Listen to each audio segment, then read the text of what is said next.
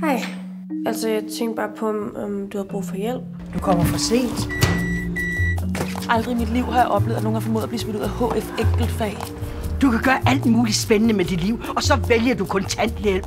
Synes du ikke, at det er rigeligt, at du har fucket dit eget liv op? Gem et lille smil til det bliver grønne. Hvad fanden foregår der? Hun har slået sig, og så hun hører mig. Ja, verden er mere end Viborg.